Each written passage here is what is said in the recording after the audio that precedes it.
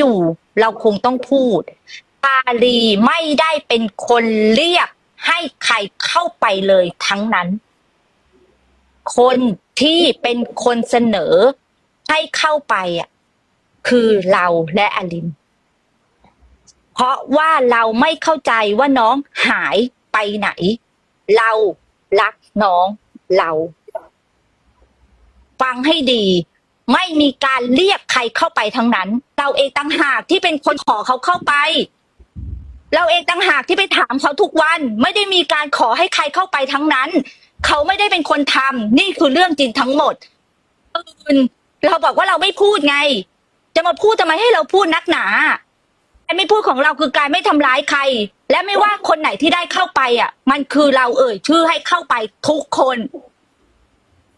ทุกคน เพราะเราคิดว่าเขารักน้องเหมือนที่เรารักอืมเพราะเราคิดว่าการที่เข้าไปฟังแล้วอะจะได้รู้กันสักทีว่าเรื่องราวมันเกิดขึ้นอะไร รู้เขารู้เรา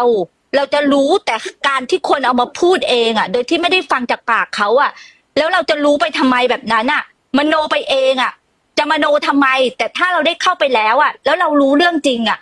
มันไม่ดีกว่าเหรอ แต่สุดท้ายแล้วอะพอเข้าไปอะ ก็หาแต่ผลประโยชน์ใส่ตัวเอง ออกมาพูดจากผิดเป็นถูกกลับไปต่างๆ นานาเคยมีใครพูดไหม ว่าได้เข้าไปเพราะอะไร ก็พูดกันแต่ว่าโดนเชิญโดนเชิญโดยที่เราไม่เคยพูดอะไรเลยเชิญบ้าบอคอแตกอะไร เป็นเราเนี่ยแหละ เป็นคนบอกเอง ว่าเออทักไปสิทักไปชวนคนนี้ ทักไปบอกคนนี้เราอยากให้เข้าไปนะ เราอยากให้พี่คนทุกคนที่เข้าไปอะ คือคนที่เรารักทั้งนั้น แต่ทำไมออกมาถึงมาทำร้ายเราด้วยทำไมถึงออกมาทำแบบนี้กับเรา นี่เหรอเราไม่ take action นี่เหรอเราไม่ทำอะไรเลย แล้วออกมาเราทำอะไร สิ่งที่เราเข้าไปรับรู้แล้วอะออกมาเราทำอะไร ถ้าเราคือผู้ปกครองของกามิน เราขอโทษแทนกามินได้ไหม เราขอบคุณชาลี ที่ชาลีดูแลกามิน ที่ทำให้ชีวิตของกามินดีขึ้น เราขอบคุณครอบครัวของชาลี ที่ดูแลการมินเป็นอย่างดี เราขอโทษนะ เราพูดได้แต่ขอโทษแล้วก็ขอบคุณอะแล้วผิดตรงไหน ไม่เคยคิดที่จะจบ เลิกมันโทเลิกสร้างเรื่อง เลิกสร้างภาพกันสักที นี่คือเรื่องจริง แล้วเรื่องจริงยังมีอีกเยอะด้วย รับให้ได้นะ ถ้าพูดอะ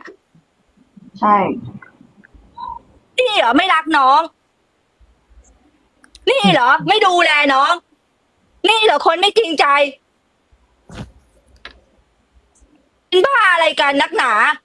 แล้วมีบางคนที่ไม่ได้ ถูกเอ่ยชื่อแต่ก็ไปแต่เราไม่อยากพูด เนี่ยความจริง แล้วก็เลิกเอาไปพูดกันได้แล้วนะว่าเรียกเข้าไปทีละคนเรียกเข้าไปใส่ร้ายเรียกเข้าไปฟังอะนี่แหละ คือความเป็นจริง ทุกคนที่ได้เข้าไปอะ ก็คือเราขอให้เข้าไป และไม่ใช่มีหรือคนเดียวที่รู้ หลาย ๆ คนก็รู้หรือก็พูดบอกเขา ไม่ใช่ไม่บอก แต่เขาแค่ไม่สนใจในสิ่งที่หรือบอก เขาก็รับรู้ แต่เขาแค่ไม่เคยออกมาพูด แค่นั้นเอง เพราะทุกคนก็อยากได้ ว่าตัวเองถูกเชิญไง เข้าใจไหมทุกคนอยากได้คำนี้ ก็แค่นั้นเอง ซึ่งมันไม่มีจริง ไม่มี ไม่ใช่